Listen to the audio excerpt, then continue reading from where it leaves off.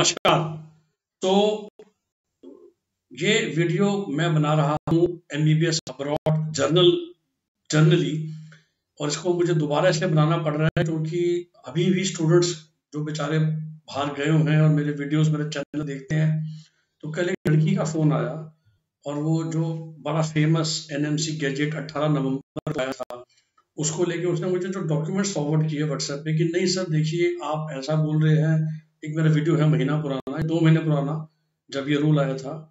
और हमने तो मेरे पास तो ये डॉक्यूमेंट है। मैं कहा, तुम्हारे पास ये डॉक्यूमेंट कहाँ से आया? मैं देखते समझ गया कि वो ड्राफ्ट है और वो ज़िक्र नकली है। और कमाल की बात यह है, हैरानी की बात यह है कि दुनिया में मतलब फर्जी लोग बना बना के भेज देते हैं और मतलब फ्रॉड का कमाल है, मैं और क्या बोलूँ?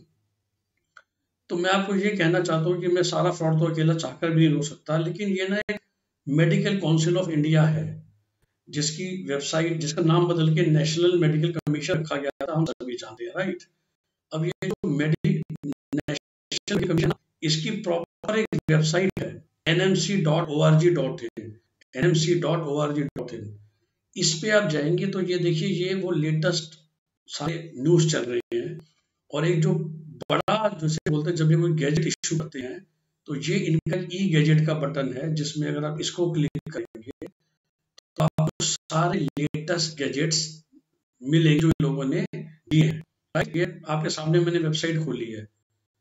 और सिर्फ़ इतने ही हैं, क्योंकि इससे पहले जो गैजेट्स थे इसके, वो जब इसका नाम एम हुआ करता था तो आपको वो गैजेट्स मिलेंगे। सब दिखाता हूँ मैं आपको लाइव ताकि आपको कहीं कोई कंफ्यूजन ना रहे देखिए 2020 तक के राइट पुराने पुराने। अब उस पे आते हैं जो फ़ेमस 18 नवंबर का गैजेट है, जिसने सारी की सारी फॉरेन मेडिकल एजुकेशन को हिला दिया बिल्कुल हिला दिया है। वो है ये वाला रूल सिर्फ़ पाँच पेज का डॉक्यूमेंट है। होम पेज पे 18 नवंबर को डाला था और 23 नवंबर को नोटिफाई हुआ है। ये आप खोलते हैं, सिर्फ़ पाँच पेज का डॉक्यूमेंट है, जिसमें भी हिंदी और इंग्लिश लैंग्वेज है।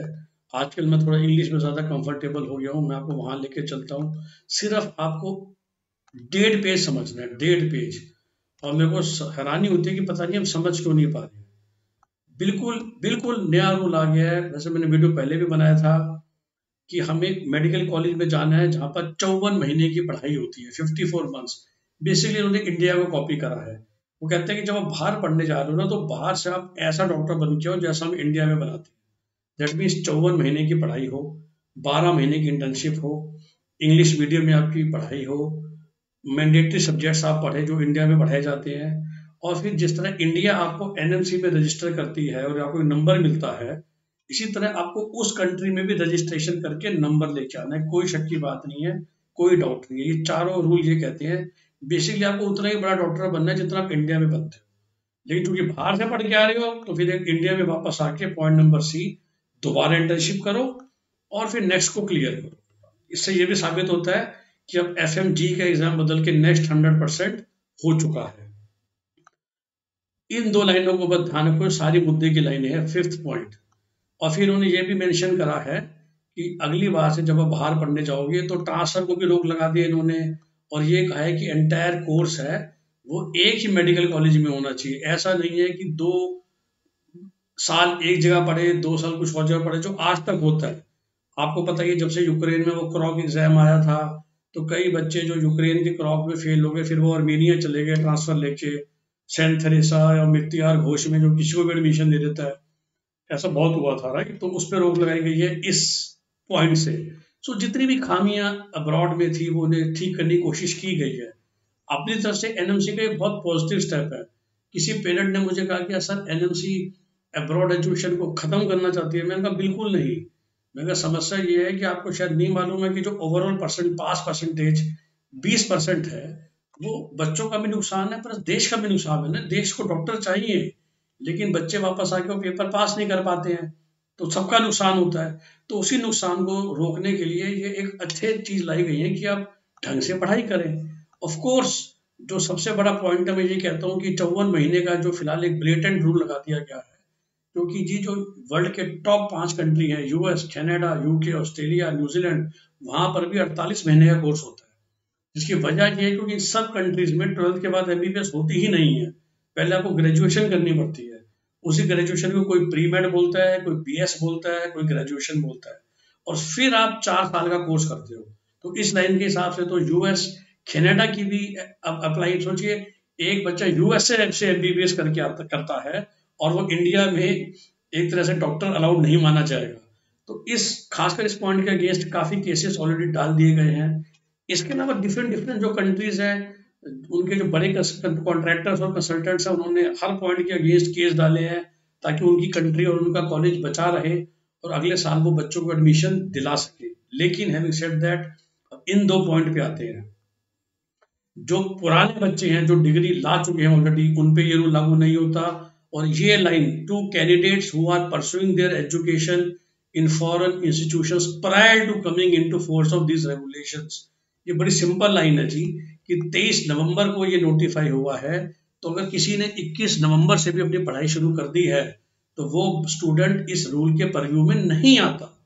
और इस बारे में आप तसल्ली रखिए तो वो जो बच्चे जिनका 2021 में एडमिशन हुआ है, अक्टूबर में हुआ है, पाँच नवंबर को हुआ है, चाहे वो गए हैं, नहीं गए हैं, उनकी अगर पढ़ाई स्टार्ट हो गई है ऑनलाइन क्लास स्टार्ट हो गई है तो भी उनकी उनकी डिग्री फ़िलहाल मा, बिल्कुल मान्यता दी जाएगी। जो जो ये नंबर चार के जो रूल्स हैं ये उन पे लागू फ़िलहाल नहीं होंगे। ये रूल तेईस नवंबर से बाद जो लोग एडमिशन ले रहे हैं। और देखिए नवंबर में लाई चले गया है कि फॉरेन एजुकेशन में मोस्टली एडमिशन ओवर हो चुके हैं।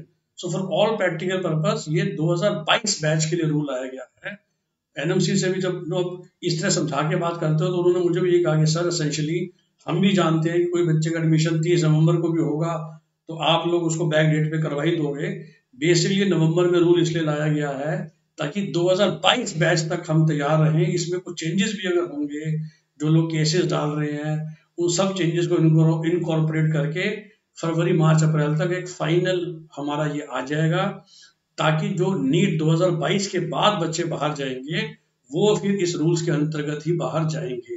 तो मैं रिपीट कर रहा हूँ 2021 बैच चाहे फरवरी में भी एडमिशन होगा ऑफ़ कोर्स अगर आपका कॉलेज और आपका कॉन्ट्रैक्टर इतना आपको साथ देगा कि आपका 23 नवंबर से पहले की डेट में एडमिशन एंड एजुकेशन स्टार्ट दिखा दिया जाए। और सेफ्टी के लिए हम ये दिखा दें कि पहली क्लास 23 नवंबर से पहले बच्चे ने ले ली। अगर ये भी दिखा दिया जाता है तो आप हर लिहाज से सेफ़ हैं, आपकी डिग्री बिल्कुल सेफ़ है, जो पुराने रूल चलते आ रहे थे आज तक, आप उसी रूल के अंदर आ रहे हो। तो बिल्कुल तसल्ली रखिए, बिल्कुल इतमान रखिए ढंग से पढ़ाई कीजिए। ये मोटा मोटी 2022 बैच में ये रूल लागू हो रहा है। और ये सब जो रूल हैं, ये पक्का लागू हो रहे एज ऑफ़ टुडे तो इस बात का भी आपको ध्यान रखना है। ठीक है? नमस्कार, आपका दिन शुभ हो।